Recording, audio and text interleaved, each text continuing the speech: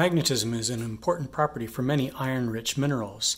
Minerals such as this magnetite are often described as being strongly magnetic. You can see we can actually pick up this paper clip with this piece of magnetite. It's a natural magnet. Many other minerals may not be as strongly magnetic, but if we take a magnet, we can see that the magnet clearly sticks to that mineral. Minerals such as this hematite are weakly magnetic. I can detect just the slightest amount of pull using the magnet. And this particular piece of hematite, I can detect no physical attraction with magnet or when I hold the magnet to the rock.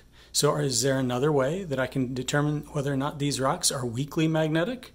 Well, if I pick this rock up and pass it over the array of compasses, you'll see that these compass needles begin to swing a little bit. That indicates there are weak magnetic properties to this mineral.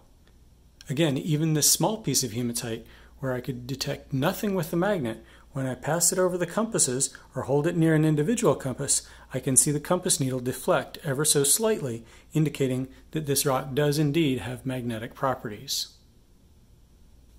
In the process of mineral identification, if you are able to determine that a mineral sample does have magnetic properties, you're well on your way to identifying the mineral.